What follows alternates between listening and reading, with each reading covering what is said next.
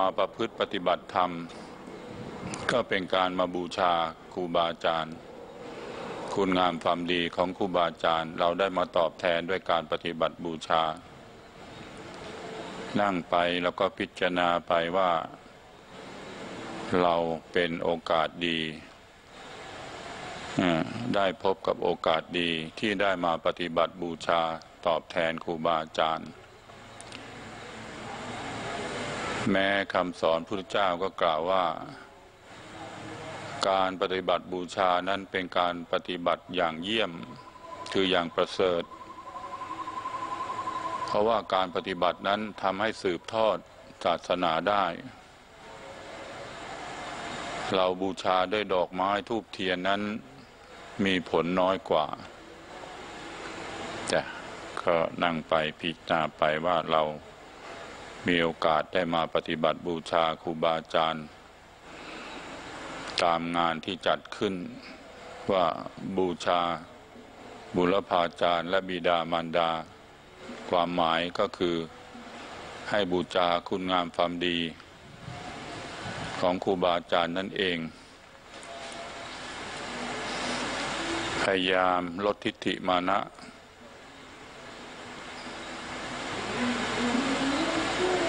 อย่าลบหลู่ครูบาอาจารย์เป็นบาป และปฏิบัติเจริญยากไม่ว่าพระว่าโยม เราจะต้องยกย่องครูบาอาจารย์เสมอ พยายาม หายใจเข้าพูดหายใจออกโท พยายามทำความเอิบอิ่มใจให้เกิดขึ้น ว่าเราได้มาปฏิบัติบูชาครูบาอาจารย์ ผู้มีพระคุณกับเรา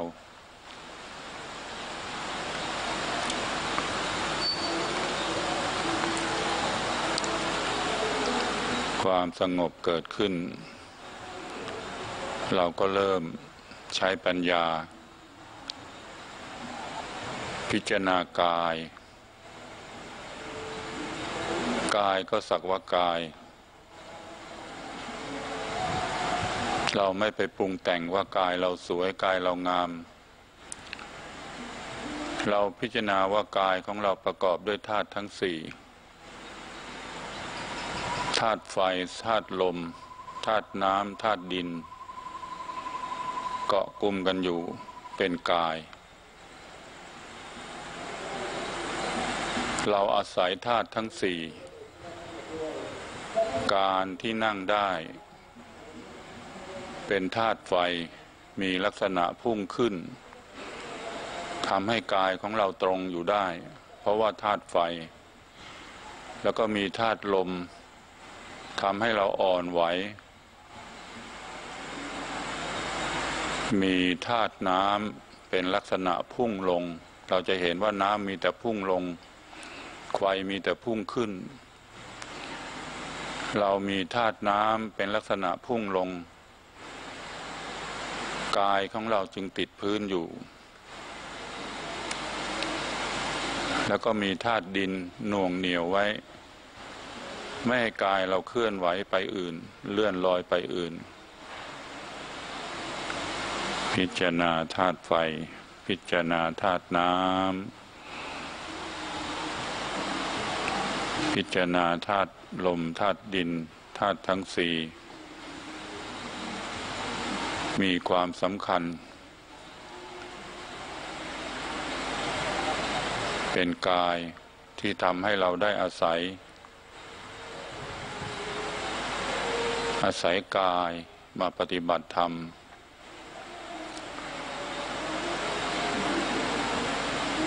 กายเป็นของไม่เที่ยง กายเป็นทุกข์ กายเป็นของอนัตตา ไม่สามารถบังคับไว้ได้ นั่งไปพิจารณาไป กายเราเปลี่ยนแปลง จากเด็กเล็กแล้วก็มาเป็นผู้ใหญ่ หนักเข้าก็เป็นคนแก่ เป็นคนเจ็บ แล้วก็ตายจากไป ไม่มีใครบังคับไว้ได้ จึงชื่อว่าเป็นอนัตตา ต้องทำความเข้าใจด้วย จะได้เข้าใจว่าเอ๊ะความว่าเป็นอนัตตาอย่างไร เป็นอนัตตาคือไม่สามารถบังคับได้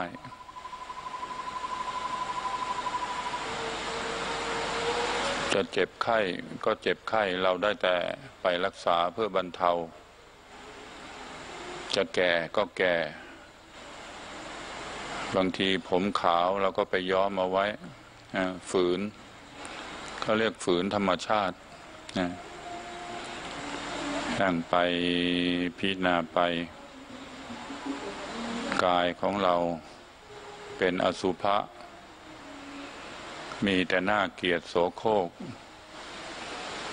เช้าขึ้นก็ต้องสะต้องล้าง ผมขนเล็บฟันหนัง นั่งไปพิจารณาไป เราจะได้ไม่ประมาท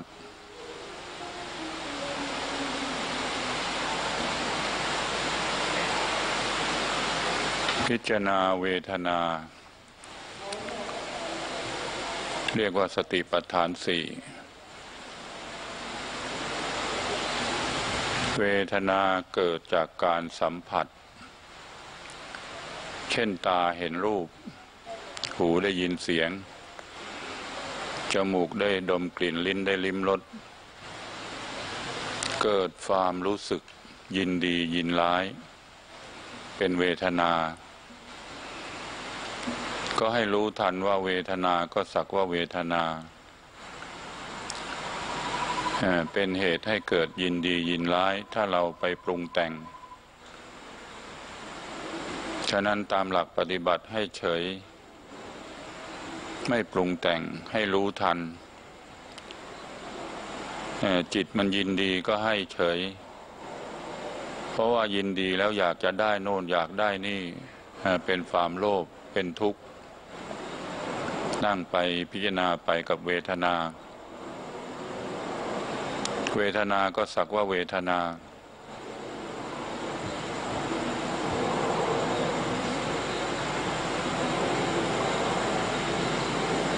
พยายาม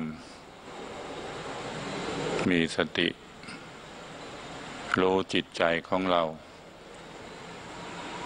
จิตตานุปัสสนาปัฏฐานา จิตคือความนึกคิด พยายามรู้ทันความนึกคิดต่าง ๆ เป็นจิตตานุปัสสนาสติปัฏฐานา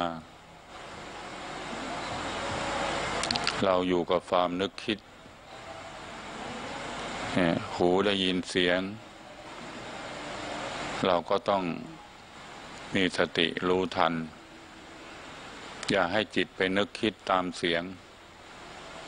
ให้เฉยไว้ เฉยไว้เป็นความสุข เฉยไว้เป็นความสงบ เฉยไว้จะอิ่มเอิบใจ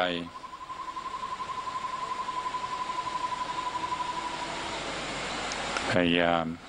ความฟุ้งซ่านนึกคิดเกิดขึ้นเราก็รู้ทัน ความกังวลใจเราก็รู้ทัน การนั่งสมาธิบางทีเราก็มีความกังวลใจ มีความน้อยใจจิตนึกคิดไปบางทีก็นึกว่าตัวเองนั้นทำไม่ค่อยได้ผล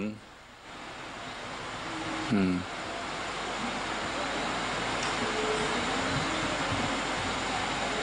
สมาธิต้องอาศัยความพยายาม ความเพียร ต้องอาศัยความเพียร อาศัยความอดทน อาศัยความศรัทธา มีศรัทธามีความเชื่อ จิตก็จะหยุดนิ่งได้ง่ายถ้าคนที่ฟุ้งซ่านจิต นิ่งได้ยาก เนี่ย ยายาม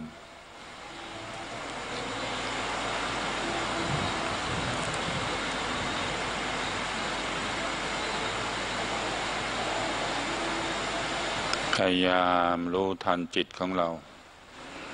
จิตคิดอะไรก็รู้ รู้แล้วเฉย รู้แล้วละ รู้แล้วปล่อยวาง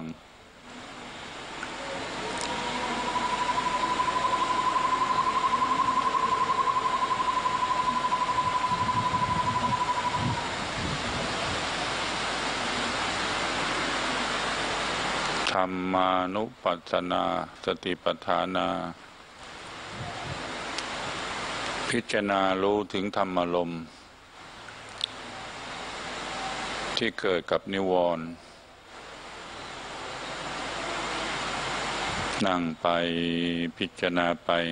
บางครั้งนั่งสมาธิ เราก็ มีกามฉันทะนิวรณ์มีความใคร่มีการรักสวยรักงาม บางทีนั่งสมาธิไปจิตมันมีอารมณ์ใคร่ต่าง ๆ เราก็รู้ทันว่าเป็นนิวรณ์เป็นเครื่องกั้นแห่งความดี บางครั้งนั่งไปนั่งไปพยาบาท มีความพยาบาทเครียดแค้น นึกถึงผู้ที่ทำให้เราไม่พอใจ มีความหงุดหงิด มีความเครียดแค้น มีพยาบาท เราต้องงด ต้องแผ่เมตตา พยาบาทเกิดขึ้นพยายามแผ่เมตตา แล้วจะคลาย แล้วจะเป็นบุญที่ครูบาอาจารย์บอกว่าการอภัยให้กัน เป็นบุญมาก เป็นบุญมหาศาลถ้าเราไม่อภัยกันพยาบาทกัน ก็เป็นบาปมาก นั่งไปนั่งไปพิจารณารู้ทัน ถีนมิทะความง่วงเหงาหาวนอนเกิดขึ้น เป็นนิวรณ์เนี่ยนิวรณ์บางคนนั่งสมาธิงี้หาวอดวอดเนี่ยเกิดนิวรณ์ถีนมิทะหดหูใจเนี่เราก็ต้องทำให้ตื่น ช้สติปัญญา นึกว่าเอ๊ะเรามาครั้งนี้ เรามาปฏิบัติธรรมเพื่อหวังบุญหวังกุศลเเราจะมัวมัวมาง่วงเหงาหาวนอน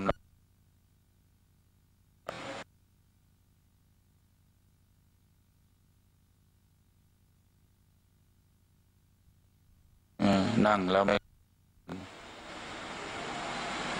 ติดสุข บางคนก็นั่งติดสุขนะ นั่งแล้วสบายไม่ค่อยเกิดปัญญา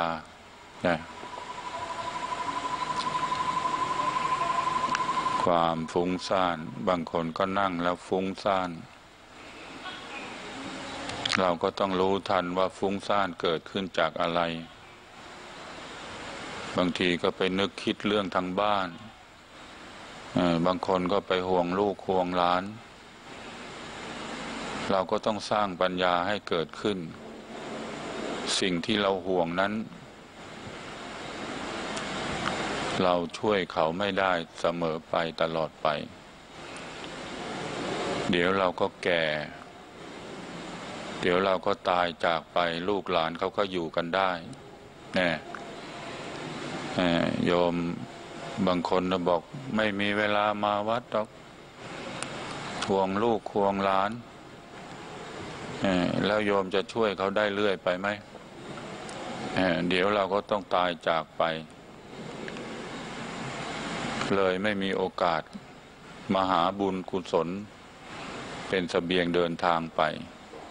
เนี่ยอันนี้จะได้เกิดปัญญาเรียกว่าวิปัสสนา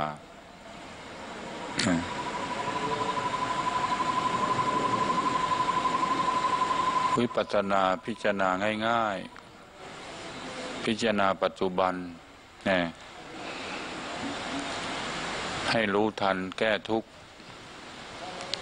นี่ยบางทีเราก็ก้าวไกลเกินไป จะไปนิพพาน ไปนิพพานต้องมีตัวประกอบนะ ต้องมีตัวประกอบเยอะต้องลดสกายะทิฏฐิถือตัวถือตน ต้องมีตัวประกอบ นั่งสมาธิอย่างเดียวไปไม่ได้หรอกนิพพานฉะนั้นเอาแค่สงบ เอาแค่เกิดปัญญา รักษาความฟุ้งซ่านได้ก็ดีแล้วนะครูบาอาจารย์ท่านก็เน้นให้ได้ความสงบให้ได้ก่อนเอาละพอเข้าใจแล้วก็นั่ง ดูจิตดูใจเราสักระยะหนึ่งดูใจเราสิว่า เราทำไมบังคับใจของเราไม่ได้ เนี่ย บางทีเราจะไปก้าวกายถึงคนอื่น ชอบไปสอดรู้สอดเห็นคนอื่น เรามาพิจารณาเอาตัวของเราเองนะโยมนะ ว่าเราแก้ไขตัวเราเองได้หรือยังเนี่ยเราเตรียมตัวหรือยังมาประพฤติปฏิบัติเนี่ย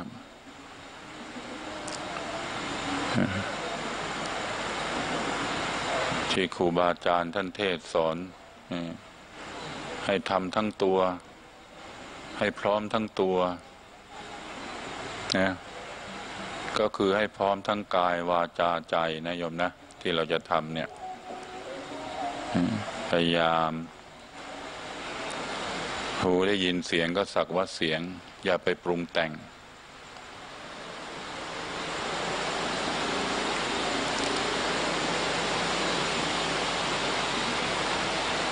ให้มีสติพิจารณาว่า เราได้มีโอกาสมาสร้างบุญกุศลด้วยการทำสมาธิ เป็นบุญใหญ่ เป็นบุญมหาศาล เพราะว่าการสงบจิตสงบใจสงบกาย ละกิเลส ความโลภความโกรธความหลงได้ชั่วขณะ ก็เป็นบุญมหาศาล เราจะเห็นว่าวันวันหนึ่งเราละได้ยาก ความโลภความโกรธความหลง ตื่นขึ้นมาเช้าขึ้นมา เราก็พบกับความโลภความโกรธความหลงแล้ว ฉะนั้นโอกาสนี้เป็นโอกาสที่เราละ ความโลภความโกรธความหลงได้ชั่วขณะก็ยังดี นั่งไปพิจารณาไป กายก็สักว่ากาย กายประกอบด้วยธาตุทั้งสี่กายเป็นอสุภะเราจะได้ไม่ประมาท เวทนาก็สักว่าเวทนาเกิดจากการสัมผัสทำให้เกิดยินดียินร้ายเรารู้ทัน จิตตานุปัสสนาสติปัฏฐานา จิตคือความนึกคิด ความจำได้หมายรู้ เป็นสัญญา เก็บเอามาคิด เก็บเอามานึก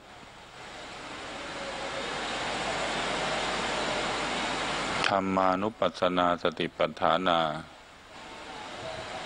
คืออารมณ์ที่เกิดกับนิวรณ์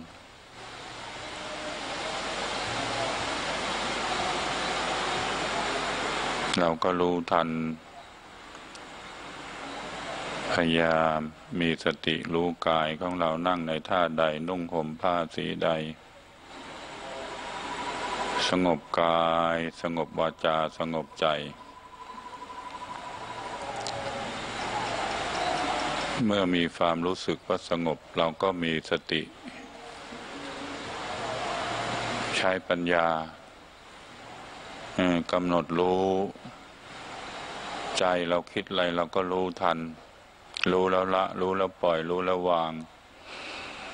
ทำใจว่างๆ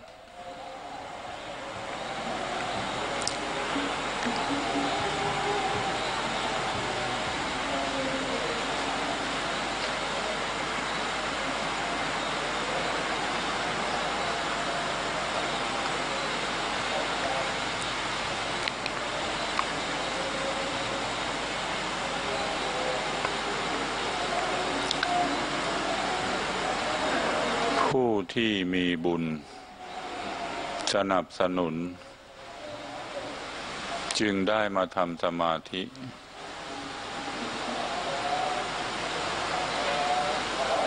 บุคคลจำนวนมาก ที่ไม่มีโอกาสเข้ามาทำสมาธิ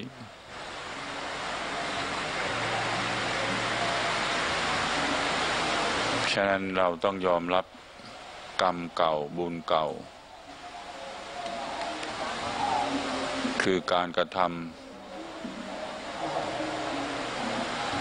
ที่แล้วมา เป็นปัจจัย สนับสนุน ให้ได้มานั่งประพฤติปฏิบัติธรรม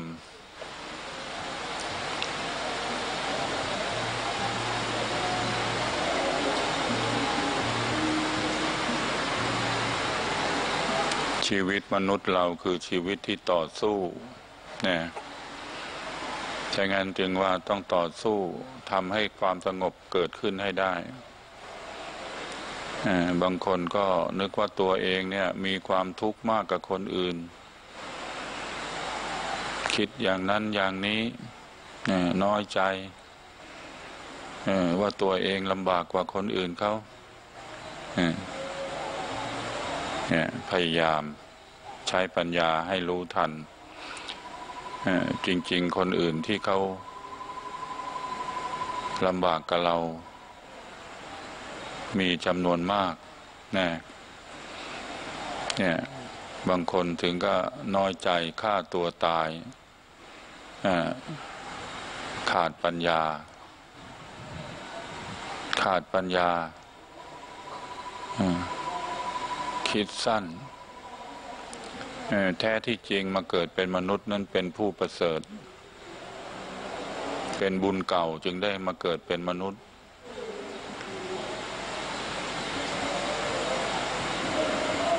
น่าเสียดายที่ไม่เกิดปัญญา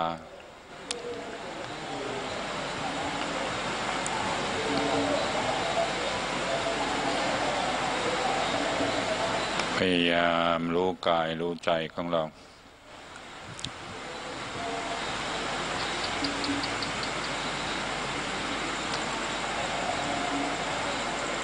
จิตเราคิดมากเราก็รู้ทันเอ่อเราก็ใช้วิธีของหลวงปู่สังวานรู้ก็เฉย ไม่รู้ก็เฉย เห็นก็เฉย ไม่เห็นก็เฉย สงบก็เฉย ไม่สงบก็เฉยฟาร์มงาเอ่อฟาร์มหมายก็คือให้สงบนั่นเองเนี่ยเมื่อสงบแล้วมันก็เกิดปัญญาว่าอ้อที่เราสงบได้ เพราะเราหยุดความคิด หยุดการกระทำต่าง ๆ จึงเกิดความสุขขึ้นได้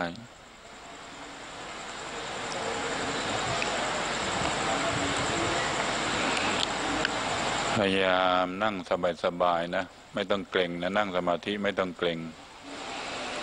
นั่งวางกายวางใจสบายๆทำความอิ่มเอิบให้เกิดขึ้น เราอย่าไปเกรง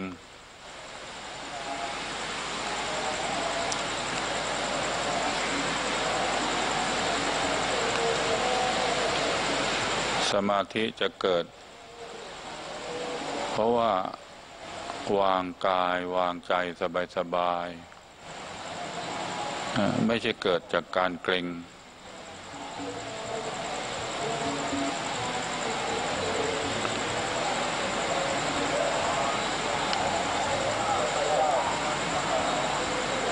ความสงบ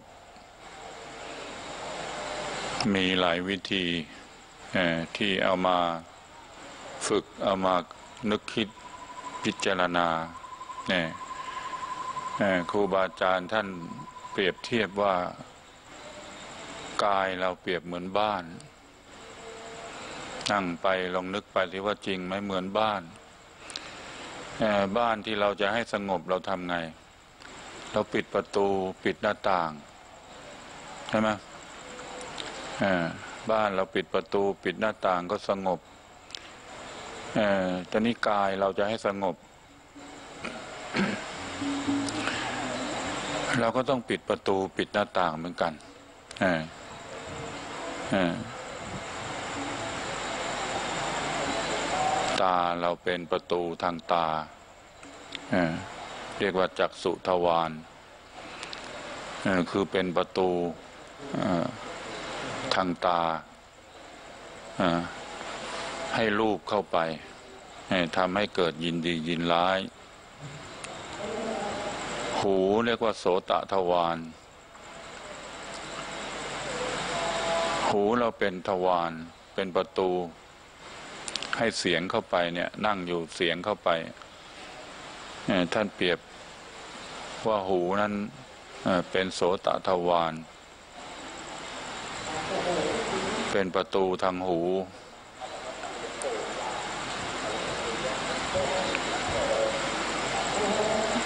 คานทวารจมูกเอ่อเป็นประตู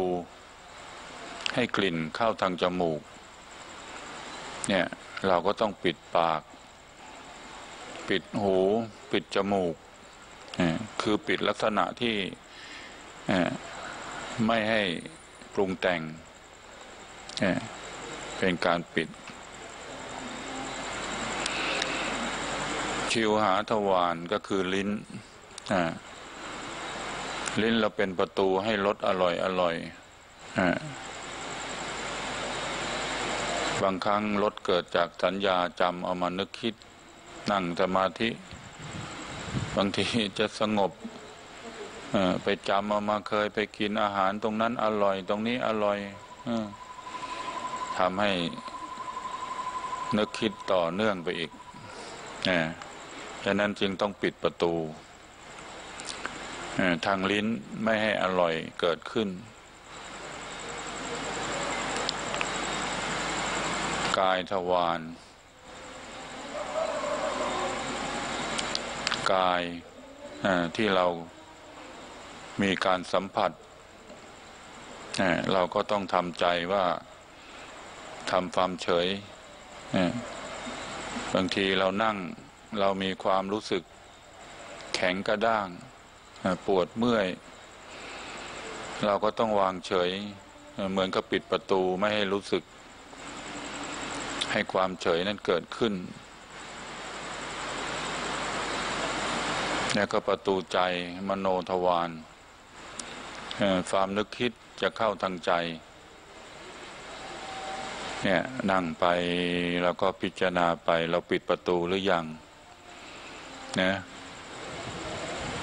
ถ้าปิดประตูบ้านเราก็สงบ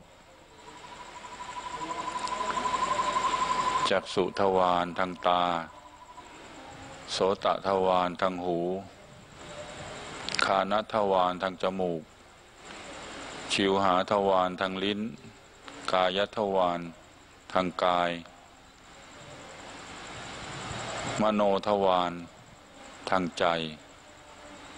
หกทางใช่ไหมตาหู จมูกลิ้นกายใจหกอย่าง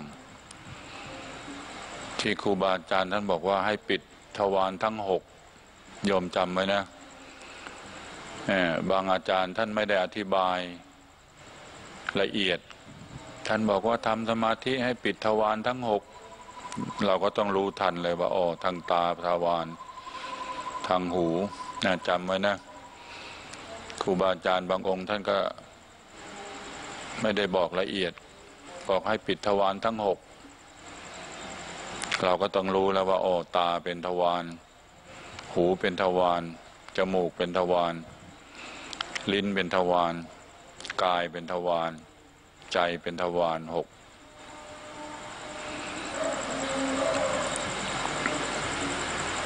ที่เขาบอกให้สำรวมอินทรีย์หกเนี่ยนี่ก็เช่นเดียวกันสำรวมอินทรีย์หกนักปฏิบัติต้องจำนะสำรวมอินทรีย์หกก็คือสำรวมตาสำรวมหูเออเอ่อสำรวมหูสำรวมจมูกสำรวมลิ้น สำรวมกายสำรวมใจเนี่ยอินทรีย์ทั้งหกสำรวมอินทรีย์ทั้งหกเพราะนั้นนักปฏิบัติก็ต้องรู้รายละเอียดพวกนี้เป็นส่วนประกอบ เนี่ยเอาที่ง่าย ๆที่เห็นใกล้ๆตัวเรา นะยังไม่ต้องมองไปไกล เอาที่ใกล้ ๆตัวเราเนี่ย ที่มันเกิดฟุ้งซ่านกับตัวเรา เราจะได้รู้ทันมันฟุ้งซ่านเพราะอะไร เพราะว่าตาปล่อยให้รูปเข้ามา หูปล่อยให้เสียงเข้ามา มันก็ฟุ้งซ่านถ้าเรารู้ทันปิดประตูไว้ ความเฉยก็เกิดขึ้น เอ่อ ถ้าผู้ใดเคยเข้าเก็บอารมณ์เนี่ยเราจะรู้ว่าอ๋อครูบาอาจารย์ทำไมต้องให้ไปเก็บอารมณ์ให้ปิดตาปิดหูปิดจมูกให้เก็บอารมณ์ไม่ให้พูดปากก็ไม่ให้พูด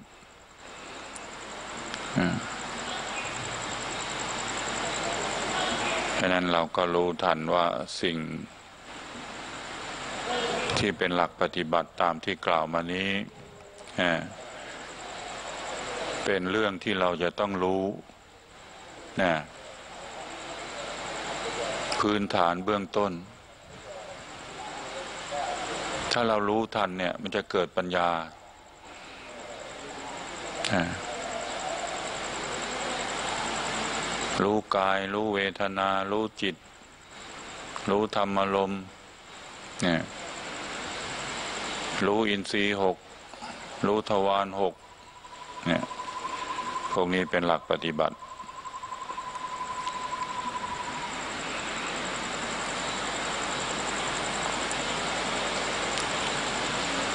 ผู้ที่ยังใหม่ก็บริกรรมเรื่อยๆนะบริกรรมเรื่อย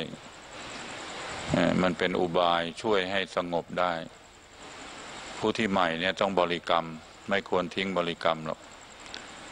หายใจเข้าพูดหายใจออกโททำเรื่อยไป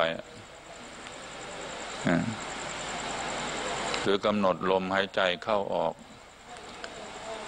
ผู้ที่ชำนาญแล้วก็ไม่เป็นไร แต่ผู้ที่มาฝึกใหม่เนี่ย จะต้องใช้คำบริกรรม เป็นอุบายให้เกิดความสงบ เอาความสงบเกิดขึ้นให้ได้ก่อน ทุกวันนี้เราวุ่นวายนะวุ่นวายกับการประกอบอาชีพ มีความทุกข์ มีความน้อยใจ มีความกังวลใจเนี่เราพยายามละให้ได้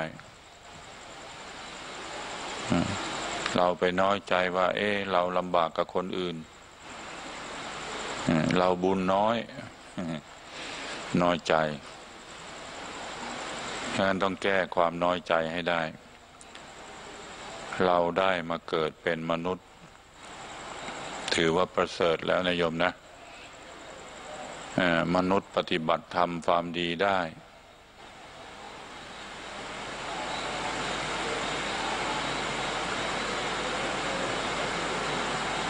มนุษย์สร้างบุญกุศล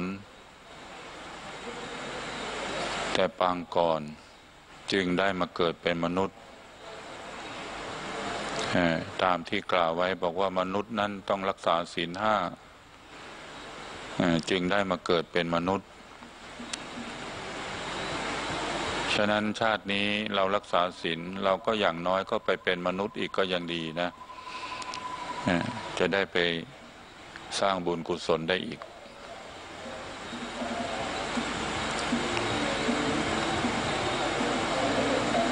นั่นแหละลองสงบสักหน่อยนะอาตมาว่าลองลองทำความสงบเฉยๆดูกายดูใจของเรา รู้จักละ รู้จักปล่อย รู้จักวางทำใจว่างๆ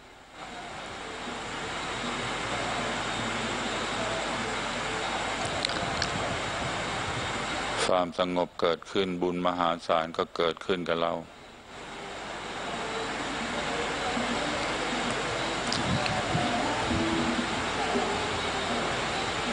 นึกถึงครูบาอาจารย์ที่ได้พร่ำสอน ให้เรารู้ธรรมะของพุทธเจ้า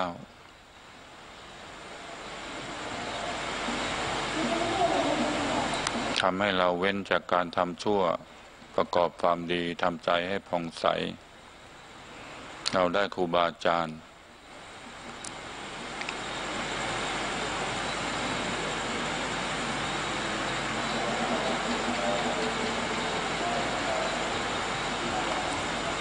ก็พยายามนึกถึงความดี ที่เราได้มาประพฤติปฏิบัติ บูชาคุณงามความดีของครูบาอาจารย์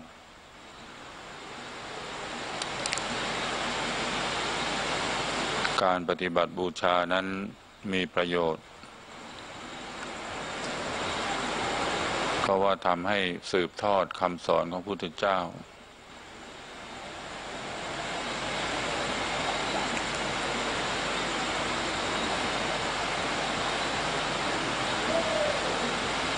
ยายามรู้กายรู้ใจ กายนั่งในท่าใดนุ่งห่มผ้าสีใดทำความรู้สึกที่กาย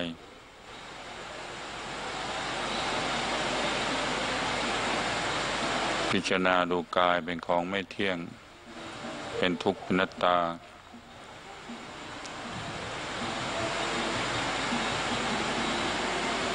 สัพเพสังขาราอนิจจา สังขารเป็นทุกข์หนอ สังขารเป็นของไม่เที่ยงหนอ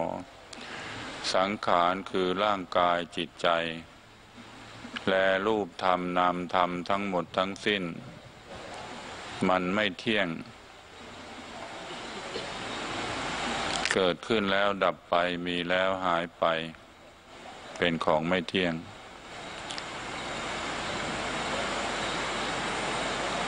สัพเพ สังขาราทุกขา สังขารเป็นทุกหนอ สังขารคือร่างกายจิตใจ และรูปธรรมนามธรรมทั้งหมดทั้งสิ้น มันเป็นทุกข์ทนยาก เพราะเกิดขึ้นแล้วแก่เจ็บตายไป นั่งไปพิจารณาไปสัพเพธรรมาอนัตตา สิ่งทั้งหลายทั้งปวง ทั้งที่เป็นสังขารและไม่ใช่สังขารทั้งหมดทั้งสิ้น ไม่ใช่ตัวไม่ใช่ตน ไม่ควรถือว่าเราว่าตัวว่าตนของเรา นั่งไปก็พิจารณาไป ไม่ยึดมั่น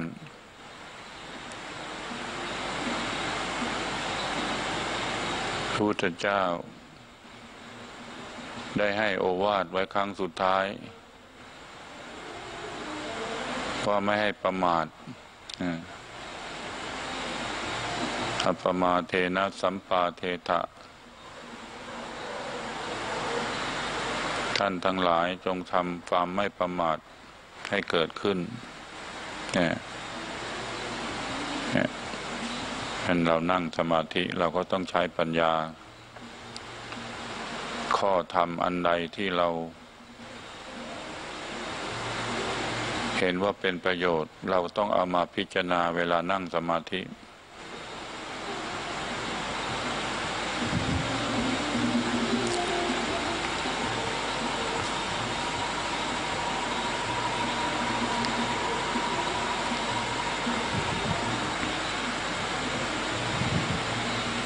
ยายามวางกายวางใจสบายๆไม่ต้องเกรง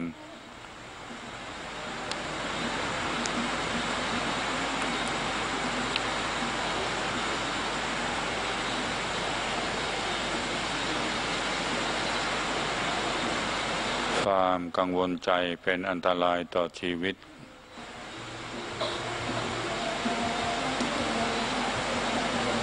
อดีตเปรียบเหมือนความฝัน อนาคตเป็นของที่ยังไม่แน่นอนเนี่ยเราก็วางเฉย เราอย่าไปกังวลใจ พยายามนึกถึงปัจจุบันว่าเราจะต้องสร้างบุญสร้างกุศล เป็นสเสบียงเดินทาง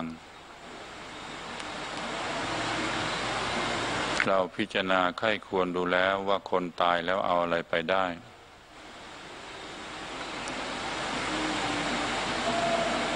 จะร่ำรวยสักเท่าไหร่ก็ตาม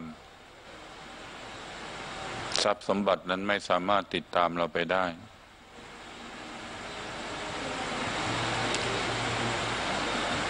มีบุญกุศลที่จะตามเราไปให้พบกับความสุข มีบาปอากุศลตามไปให้พบกับความทุกข์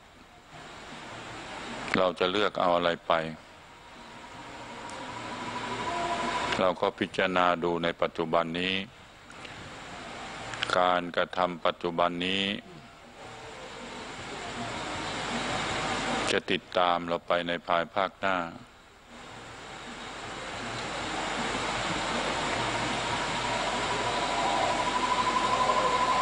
เราต้องรู้ทัน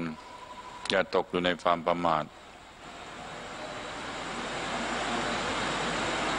การกระทำนั้นเป็นกฎแห่งกรรม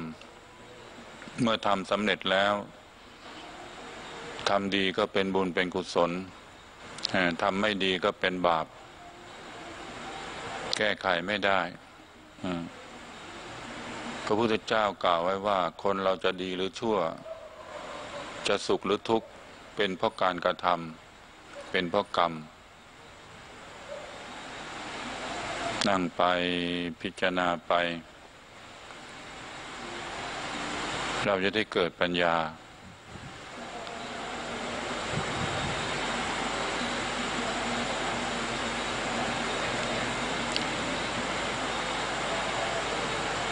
คำสอนนั้นเป็นเพียงชี้ทางนำทาง ชี้แนะ เราเป็นผู้กระทำเป็นผู้ได้รับประโยชน์ จะสุขหรือทุกข์เป็นอยู่ที่เราการกระทำของเรา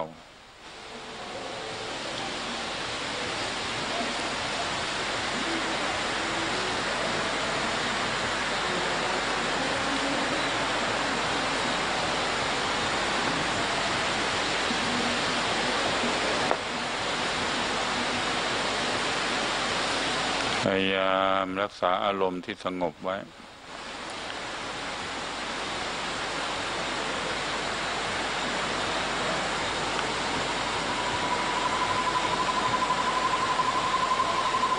อยู่กับความอิ่มเอิบใจ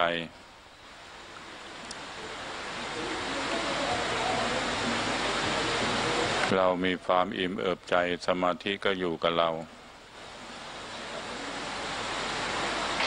ถ้าเราใจร้อนฟุ้งซ่าน สมาธิก็ไม่อยู่ด้วย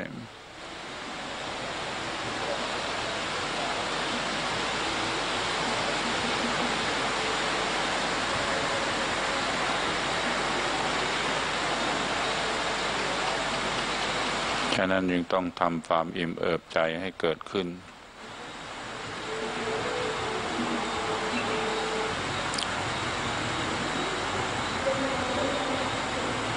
ละจากความกังวลต่าง ๆ ชีวิตคนเราเป็นชีวิตที่ต่อสู้ เราอย่าได้ไปกังวล อะไรเกิดขึ้นเราก็ต้องสู้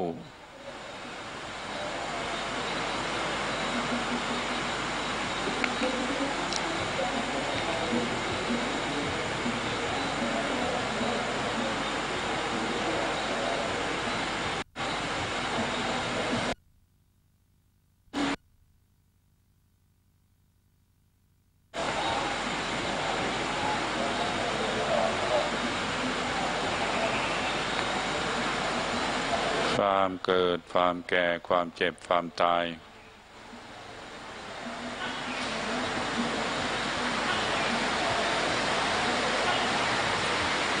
เมื่อเกิดแล้วก็ต้องแก่ ต้องเจ็บ ต้องตาย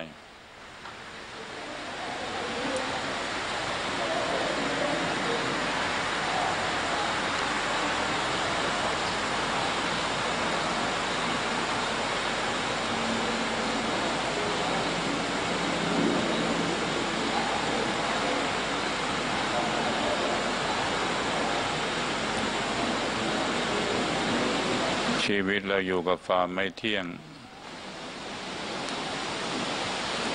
ชีวิตเราอยู่กับความทุกข์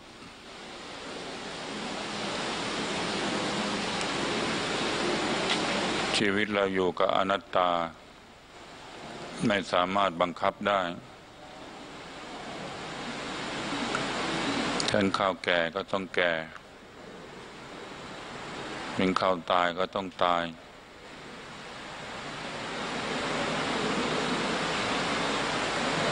บางคนก็แม่ตายก่อนลูก บางคนก็ลูกตายก่อนแม่ เอาแน่อะไรไม่ได้ สุดแท้แต่กรรม คือการกระทำมานั่นเอง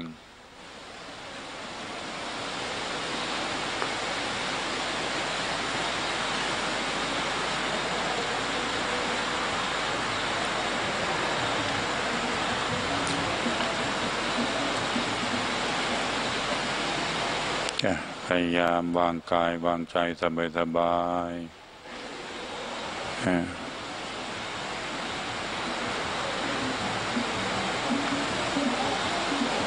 ทำความรู้สึกตัวทั่วพร้อม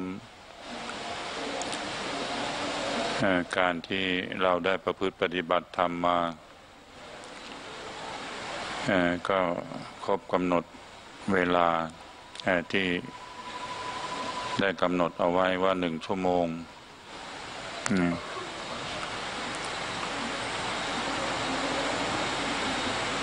ก็เดี๋ยวจะมีครูบาอาจารย์ขึ้นมาต่ออีกเพราะนั้นทำความรู้สึกตัวทั่วพร้อมอยู่กับอริยบทสบายๆ ออกจากสมาธิ เอ่อ แล้วพิจารณาดูซิว่าอารมณ์เราเป็นยังไงบ้างออกจากสมาธิเนี่ย มันอิ่มไหมถ้ามันอิ่มเนี่ยสมาธิเกิด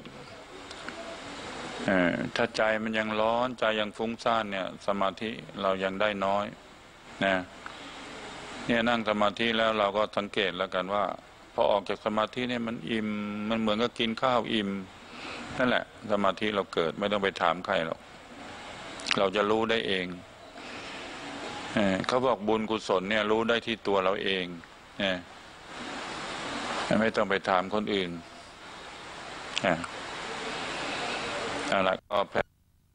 เดี๋ยวครูบาอาจารย์องค์อื่นท่านจะได้ขึ้นเอ่อเพตาทั้งหลายที่เพื่อนทุกเกิดแก่เจ็บตาย ด้วยกันหมดทั้งสิ้น เราอุทิศบุญกุศลของเราให้หมดด้วยกันอเวลาจงเป็นสุขเป็นสุขเถิด อย่าได้มีเวรแก่กันและกันเลยอโรคาจงเป็นสุขเป็นสุขเถิด อย่าได้มีความเจ็บไข้ลำบากกายลำบากใจเลย อัพยาปัชชาจงเป็นสุขเป็นสุขเถิด อย่าได้พยาบาทเบียดเบียนซึ่งกันและกันเลยอานิคาจงเป็นสุขเป็นสุขเถิด อย่าได้มีความทุกข์กายทุกข์ใจเลย สุขีอัตตานังปริหะลันตุ จงมีความสุขกายสุขใจ รักษาตนให้พ้นจากทุกภัยทั้งสิ้นนี้เถิดจ้ะก็สังเกตดูนะ ถ้าอิ่มเอิบใจนั่นแหละ สมาธิเราได้แล้ว ไม่ต้องไปถามใคร